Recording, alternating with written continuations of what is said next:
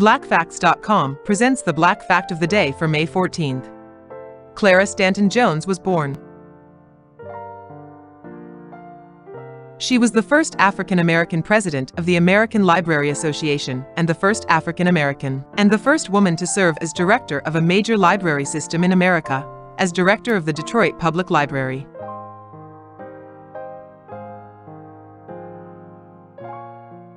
Jones obtained a well-rounded education even though the St. Louis public school system was completely segregated. She grew up in an entirely African-American world, with black role models and mentors. She began working in libraries the same year she completed her degree in library science. At the beginning of 1938, she worked in libraries at Dillard University in New Orleans and Southern University in Baton Rouge, Louisiana.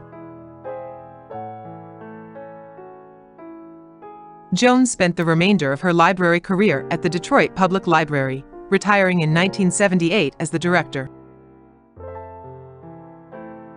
With a focus on community, she worked to desegregate libraries, library services, and overall library culture by encouraging the American Library Association to pass the Resolution on Racism and Sexism Awareness.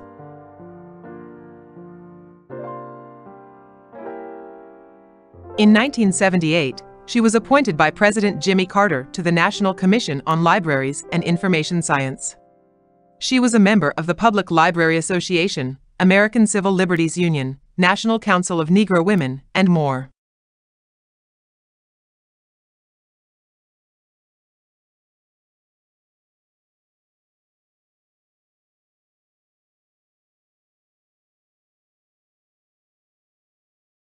Learn Black History, teach Black History at blackfacts.com.